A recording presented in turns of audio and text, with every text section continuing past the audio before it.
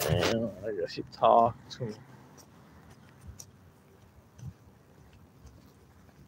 Come on, take my channel.